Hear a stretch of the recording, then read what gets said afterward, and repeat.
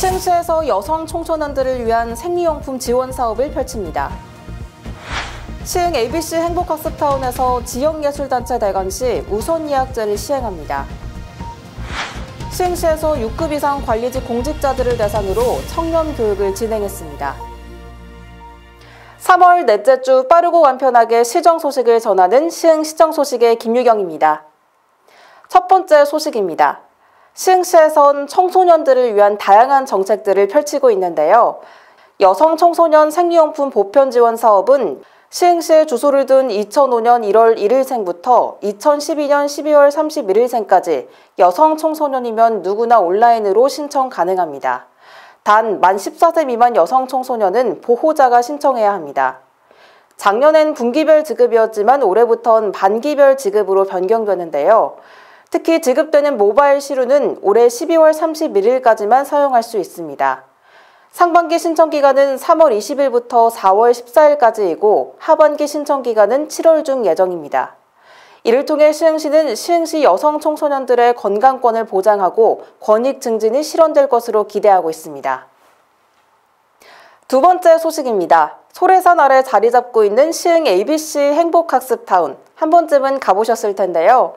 시흥 ABC 행복학습타운에서 지역예술단체를 대상으로 공연 전시 시설에 대한 우선 예약제를 시행합니다. 우선 예약제는 지역 예술인 개인과 단체가 시흥 공유공간 플랫폼인 시소를 통해 예약 신청할 수 있습니다. AB쇼일과 어울림극장, 갤러리 시흥, 어울림 갤러리 4개소에 대해서 2023년 4월 3일부터 14일까지, 2023년 7월부터 12월 사이에 2회까지 우선 예약을 할 수 있습니다. 우선 예약제 시행으로 시흥시는 지역예술인에게 보다 나은 창작 환경을 제공하고 시민들이 폭넓은 문화예술을 접하길 기대하고 있습니다. 청렴은 공무원들의 기본 자세죠. 지난 17일 6급 이상 시흥시 관리직 공직자들이 청렴 교육을 이수했습니다. 시흥시는 공직자들의 종합 청렴도 향상을 위해 다양한 정책을 추진 중인데요. 상급자의 청렴이 솔선수범되어야 한다는 직원들의 요구에 따라 관리직 공직자 청렴 교육을 진행했습니다.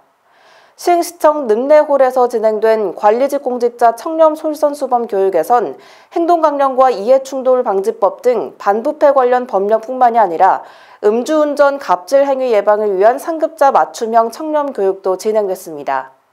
앞으로의 두 번의 교육이 더 남았는데요. 이를 통해 시흥시는 상급자의 청렴 솔선수범의 기반을 다지고 청렴 문화가 조직 내 확산되길 희망하고 있습니다.